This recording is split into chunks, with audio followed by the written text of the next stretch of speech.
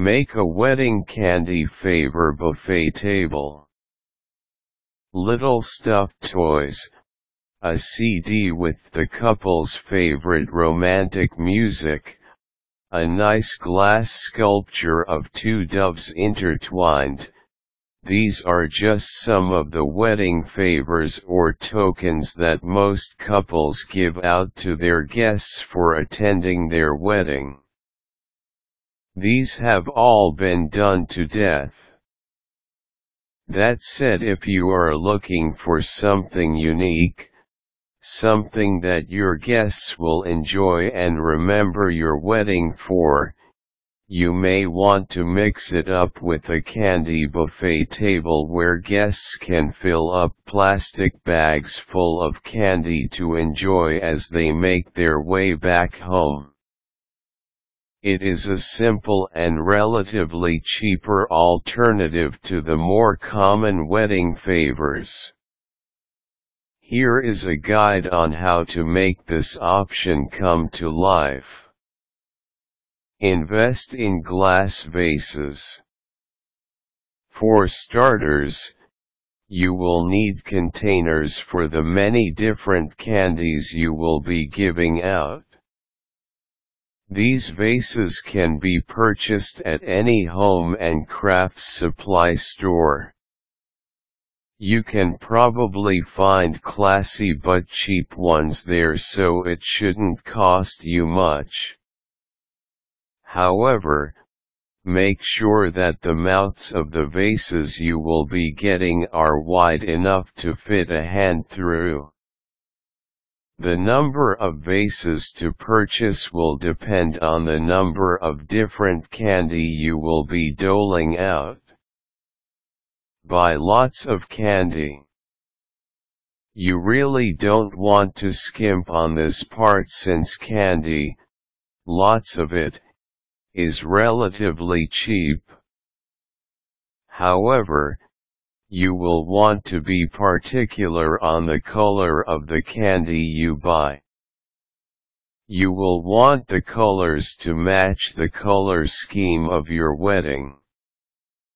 For instance, if the wedding colors are white and red, then concentrate on getting candy sporting these colors alone. Get as many variations and flavors you can find to create diversity. Get some scoops. Many guests may not appreciate other guests grabbing the candy from the containers by hand. Remember, hands are full of all kinds of germs. That said you would want to limit hand contact here. To do this, you might want to invest in either plastic or metal scoops. You should have at least one scooper per container provided that the candy in that container is not wrapped. If it is, then you really won't need a scooper for that particular container.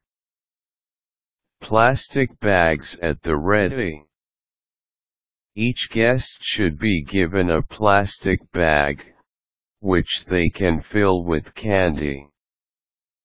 This should be located at the starting end of the buffet table. Each guest gets one and they go through each container scooping candy from the container into the plastic bags. Simple plastic bags will do. If you like, you can even use classy Ziploc bags instead. Make sure that each bag has a small thank you card attached to it. Prepare the buffet. Designate a buffet table for this. Use white tablecloth to make the table more appealing. Line up the vases of candy just right. The plastic bags should sit on a plate at the start of the table. Scoops should be inside each container. You may want to add decorations to the table and this is up to you.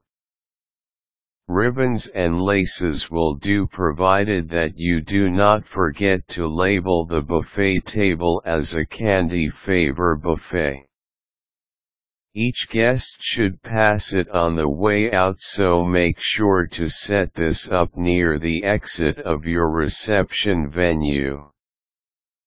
During the course of your reception, make sure to have the host announce to your guests that they can get their wedding favors by lining up at this buffet table.